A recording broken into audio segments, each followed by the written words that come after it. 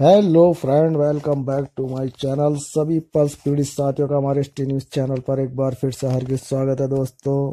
जैसे कि आप जानते हैं, अब से दो दिन पहले हमने सेवी विभाग हेल्पलाइन पर बात की थी, जहाँ पर हम सही तरीके से अपनी बात को संतुष्ट नहीं हो पाए थे। उनसे हमने पूछा था कि आपने जो पाँच हज़ार का ये प्रोसीजर चालू किया है तो मैम ये किस इकाई को उठाकर किया था? तो इन सब का जवाब उनसे नहीं दिया गया और उन्होंने हमें एक नंबर प्रोवाइड कराया जो अक्सर कराती रहती हैं।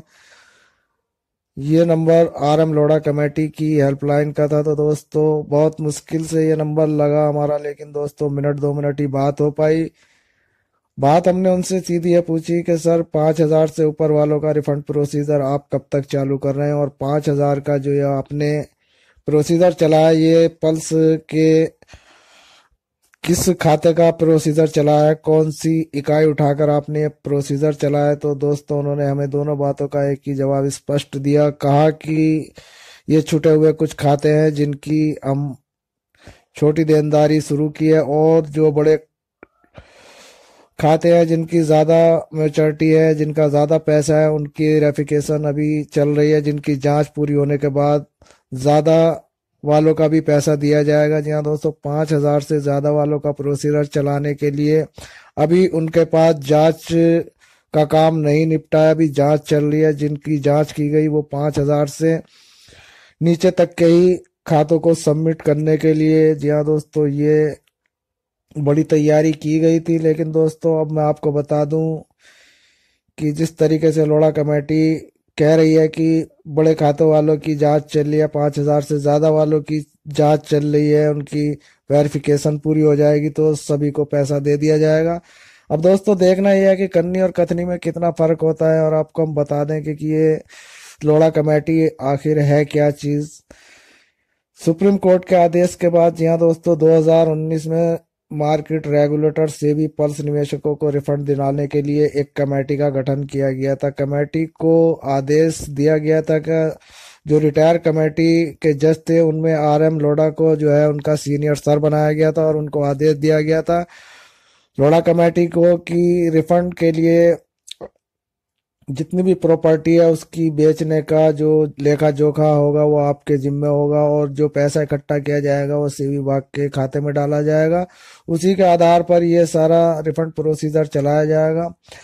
तो दोस्तों, उन्होंने एप्लीकेशन जो भरवाई थी इकतीस जुलाई तक के आवेदनों के लिए भरवाई थी, बाद में रिफंड प्रक्रिया शुरू की गई। हालाँकि अभी तक किसी भी निवेशक के खाते में कोई पैसा नहीं आया, लेकिन सेबी की तरफ़ से यह कहा जा रहा है कि पाँच हज़ार रुपए का प्रक्रिया का रिफंड देना शुरू कर दिया है और रिलीज़ कर दिया लेकिन दोस्तों, मैं आपकी जानकारी के लिए बता दूँ कि इक्का दुक्का ही लोगों के पास अभी पैसे आए हैं जिनको हमने अपने लिए जानकारी मांगी थी कि भाई जिसके पास आया तो दोस्तों, एक दो जानकारी हमारे पास आई है कि हमारे पास आया है, लेकिन दोस्तों, उनकी कोई संख्या ज़्यादा नहीं है।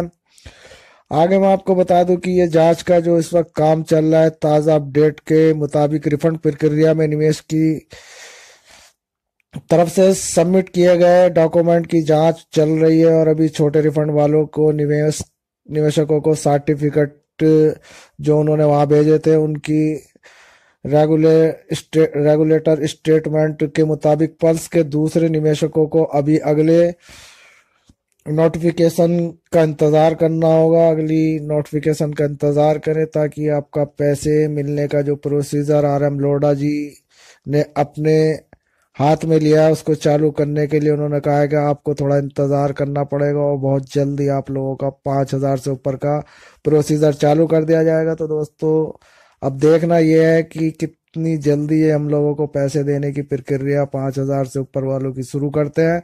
कथनी और करनी में फ़र्क तो बहुत है, क्योंकि एक साल में पाँच हज़ार का देने का मतलब यही हुआ कि पिछले साल ढाई हज़ार और इस साल पाँच हज़ार इसी तरीके से थोड़े थोड़े पैसे बढ़ाएँगे तो दोस्तों पाँच करोड़ पिचासी लाख निवेशकों का उनचास हज़ार करोड़ रुपया मिलना बहुत दूर की कौड़ी बन जाएगा।